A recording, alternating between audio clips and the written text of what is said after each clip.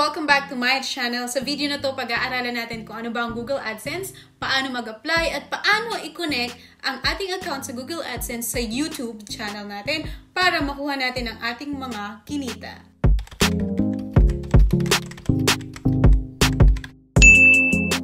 AdSense guys, malamang bago ka pa lang sa YouTube or maybe medyo matagal na at finally mamamonetize mo na yung channel mo, so you decided na mag-research about Google AdSense. You are in the right channel because sa channel na to, sinishare ko lahat ng mga natututunan ko about sa YouTube sa pagpapalago ng aking main channel na Chasing Kimberly.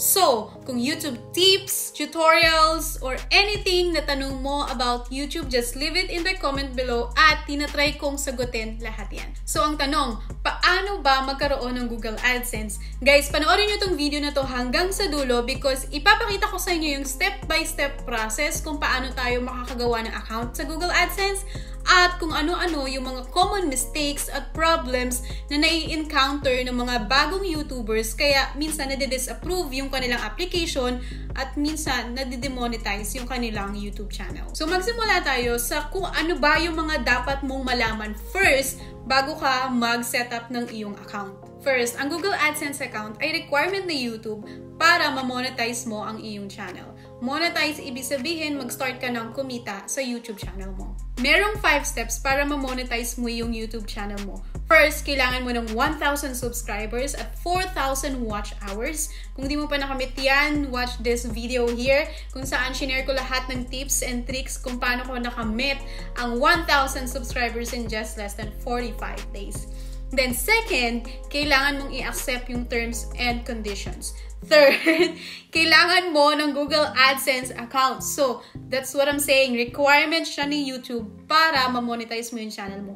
Fourth, re-review ka ni YouTube. At fifth, kailangan mong ma-approve. Okay, pangalawa na dapat mong malaman bago ka mag-apply ng Google AdSense is that isang Google AdSense lang ang pwede kada pay name. So for example, ang name mo ay Petra Salamat at gumawa ka na dati ng Google AdSense account under this name Petra Salamat, hindi ka na pwedeng ulit gumawa ng panibagong Google AdSense account tapos ipapangalan mo ulit yung pangalan mong Petra Salamat. Kailangan panibagong payee name na siya. Third, kung may duplicate account ka sa Google AdSense, hindi ka ma-approve. Gaya nga ng sabi ko nung una, isang Google AdSense account lang ang pwede per pay name. At kung may duplicate ka na nadedetect nila ng madali, hindi ka maa-approve sa application mo for Google AdSense, pati na din sa monetization ng YouTube channel mo. Pang-apat, kung meron kang dalawa or higit pa na YouTube channel, pwede mong i-connect lahat tong YouTube channel na to sa iisang Google AdSense account lang. 5. Siguraduhin mo na wala kang duplicate account. Guys, mahigpit si Google AdSense pagdating sa duplicate account. So, i-check mo talaga from the beginning pa lang na wala kang duplicate account. At para malaman mo to, check your email, check your Gmail address. Punta ka dun sa email mo and then i-check mo lahat ng mails mo kung meron ka bang na-receive na mails from this email address. Number 6, minimum age is 18. Dapat 18 years old ka na para makagawa at ma-approve ka sa Google AdSense account mo. Kung below 18 years old ka, kailangan mo ng guardian na gagawa ng sariling AdSense account. Tapos, i-connect mo yung YouTube channel mo sa kanilang Google AdSense account. Okay, so yan yung mga basic notes na dapat mong malaman bago ka mag-apply ng Google AdSense account. Kapag check ka na dyan lahat, then ipapakita ko naman sa'yo kung paano ka makakagawa or paano yung step-by-step -step process sa paggawa ng Google AdSense account. First, punta ka sa YouTube Analytics mo. And then, next, click on monetization. Now, kapag monetize ka na sa channel mo, makikita mo yung 4 steps sa screen. At ang first step is to review and accept the partnership terms. Click mo lang ang start, then lalabas yung terms and conditions. Tapos, accept mo lang. Pag na-accept mo na yan, go to the second step kung saan kailangan mo na mag-setup ng Google AdSense account. Click on Start, tapos magpa-pop up yung option na to. Mamili ka lang kung ano sa tatlo. I assume na wala ka pang account, so click No, I don't have existing account, then click Continue. You will be directed to Google kung saan pipiliin mo kung anong account yung gamit mo sa YouTube channel mo. Pag na-sign in ka na, lalabas naman ang screen na to. Dito nakalagay yung channel name mo, tapos nakalagay yung iyong YouTube channel URL link, automatic yan. Kaya di mo na kailangang i-edit. Next, dito, piliin mo naman yung yes. Send me customized help. Next, select your country. Kung sa Pilipinas ka, select Philippines. Lastly, accept the terms and condition. Check the yes, I have read and accept the agreement and click create account. Next, lalabas yung sunod na screen. Fill out mo lang dito yung address mo. Make sure na tama yan kasi dyan mismo papadala ni Google yung PIN na kailangan mo for verification. Pag okay na, click submit. Tapos lalabas tong pop-up na to. Wait ka lang couple of minutes, tapos mariredirect ka na sa YouTube Analytics mo ulit. Kung saan makikita mo na na in progress ka na sa step 2. Normally, it takes about 24 hours bago mo malaman yung resulta ng application mo kung approve or disapprove ka.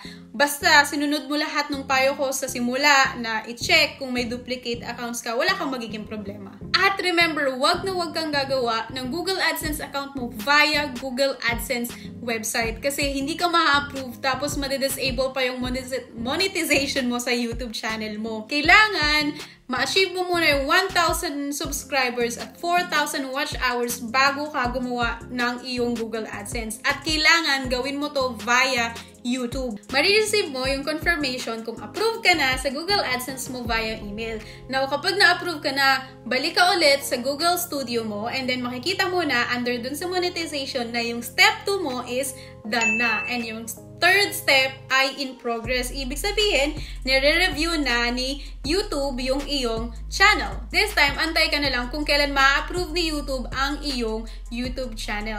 Basta wala kang problema sa copyrights at malinis yung mga content na ginagawa mo, wala kang magiging problema dito. Now, ito na. Pag-usapan naman natin yung mga common problems at mistakes na ginagawa ng mga bagong YouTubers kaya nagkakaroon sila ng problema at nadi-disapprove ang kanilang application. First problem, duplicate accounts. Ilang beses ko itong sasabihin sa inyo guys kasi very sensitive si Google AdSense pagdating dito at madaling madidetect nila kung meron kang duplicate accounts. So sa una pa lang, i-check mo talaga to and gawin mo yung advice ko na i-check yung Gmail address mo kung may na-receive kang any emails from Google AdSense before.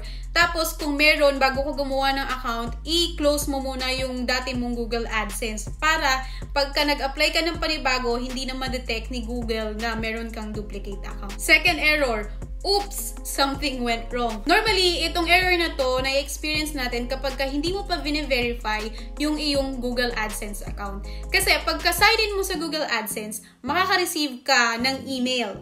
At from there, kailangan mong, may kailangan kang i-click na vine-verify mo na ikaw talaga yung gumawa ng account na yun. So, kapag na-receive mo tong error na to, kailangan mo lang i-verify yung Google AdSense account mo via your email. Third common problem, Google AdSense is asking for a URL or website. Ito very common talaga at ang nagiging cause nito is malamang ginagawa mo yung Google AdSense account mo via website ni Google AdSense. Kung baguhan ka pa lang sa YouTube at first time mong gagawa ng Google, Google, ng Google AdSense, kailangan gawin mo to via website ni YouTube kasi hindi ka talaga ma-approve kapag ginawa mo to sa Google AdSense website. Fourth, na-decline ka dahil sa age restriction. Gaya ng sabi ko nung una, 18 is the minimum age para ma-approve ka sa Google AdSense. So, kung below 18 ka, minor ka pa lang, kailangan mo ng guardian na gagawa ng kanilang sariling Google AdSense account, tapos ililink mo lang yung YouTube channel mo dun sa Google AdSense nila. 5. AdSense PIN verification. Kapag tapos mo mag-apply ng Google AdSense at na-approve ka na, padadalan ka via mail as in sulat sa registered mail address mo ng Google AdSense.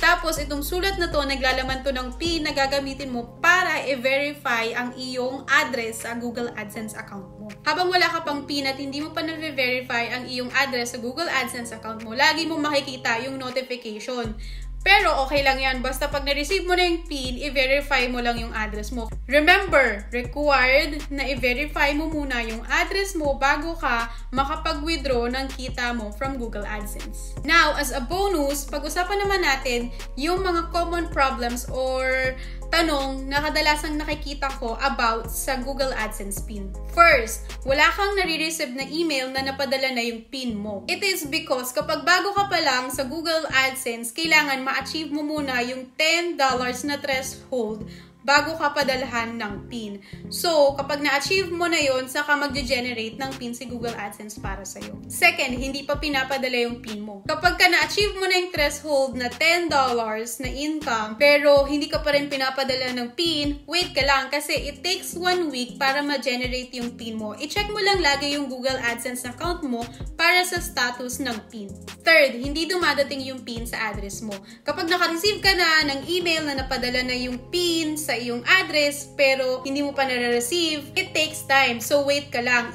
Normally, it takes about 3 to 4 weeks bago mo ma-receive yung iyong Google AdSense PIN. Ngayon, kung hindi mo pa nare-receive, check mo sa Google AdSense account mo yung date kung kailan ba na-generate yung PIN mo. Now, kung lampas 4 weeks na, pwede ka naman mag-request na magpadala ulit ng Google AdSense PIN sa address mo. Fourth, hindi valid yung payment address. Ngayon, sabihin natin na nakadalawa o tatlong request ka na ng Google AdSense PIN pero hindi mo pa rin nare-receive. I-check mo yung address mo kasi baka naman mali yung nilagay mong mailing address dun sa Google AdSense account mo. So, kapag ka na-check mo na at na-correct mo na, mag-request ka na lang ulit ng panibago.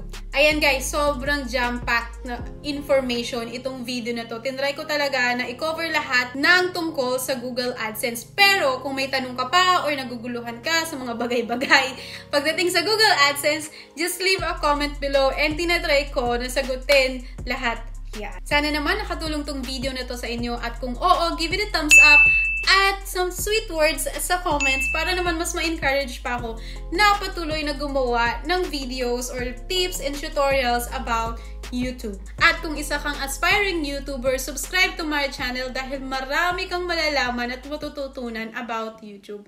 Salamat! See you again next time!